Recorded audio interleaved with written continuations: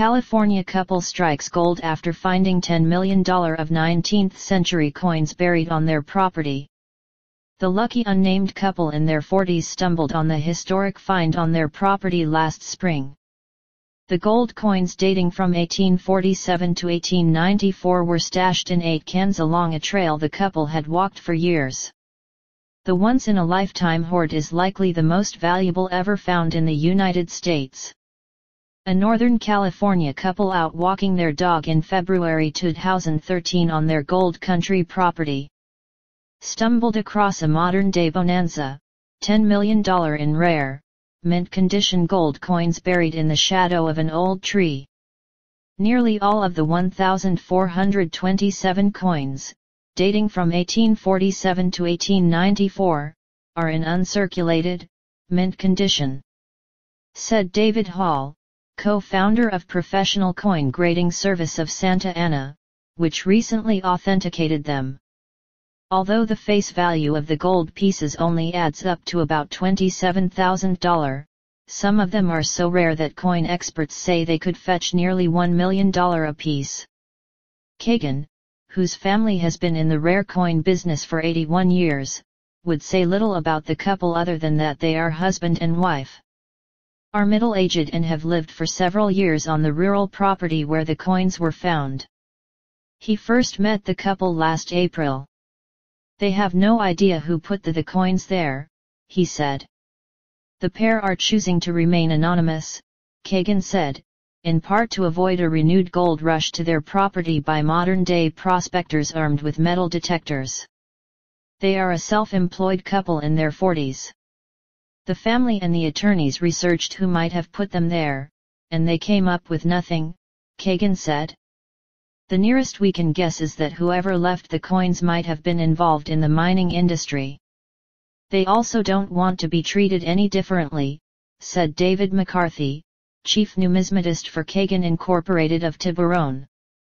Their concern was this would change the way everyone else would look at them, and they're pretty happy with the lifestyle they have today, he said. They plan to put most of the coins up for sale through Amazon while holding onto a few keepsakes. They will use the money to pay off bills and quietly donate to local charities, Kagin said. Before they sell them, they are loaning some to the American Numismatic Association for its National Money Show, which opens Thursday in Atlanta.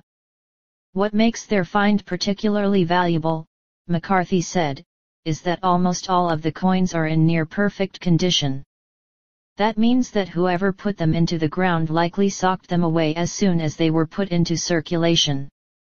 Because paper money was illegal in California until the 1870s, he added, it's extremely rare to find any coins from before that of such high quality. It wasn't really until the 1880s that you start seeing coins struck in California that were kept in real high grades of preservation, he said. The coins, in $5, $10 and $20 denominations, were stored more or less in chronological order. McCarthy said, with the 1840s and 1850s pieces going into one canister until it was filed, then new coins going into the next one and the next one after that.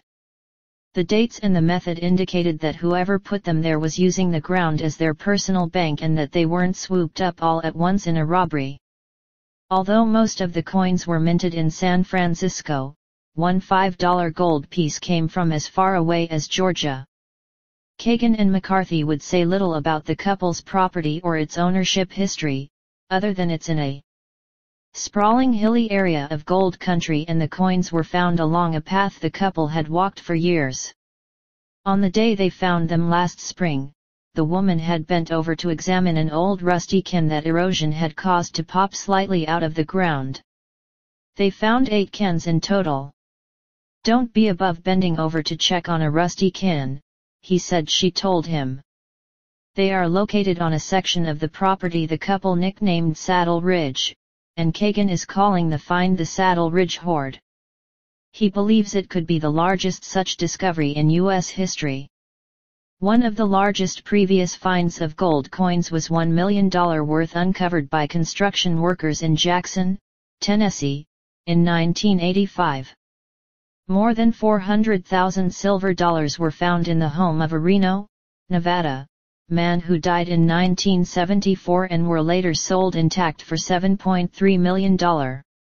Gold coins and ingots said to be worth as much as $130 million were recovered in the 1980s from the wreck of the SS Central America.